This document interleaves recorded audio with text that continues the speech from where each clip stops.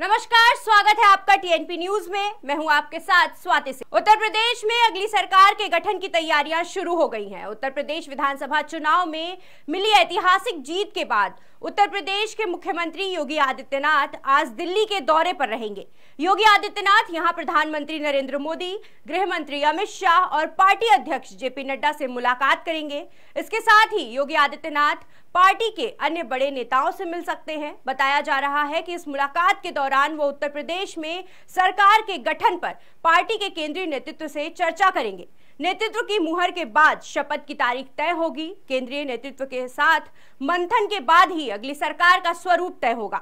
मंत्रिमंडल में शामिल होने वाले संभावित चेहरों पर भी चर्चा की जाएगी। देश दुनिया से जुड़ी खबरों के लिए टीएनपी न्यूज़ के साथ लगातार बने रहिए।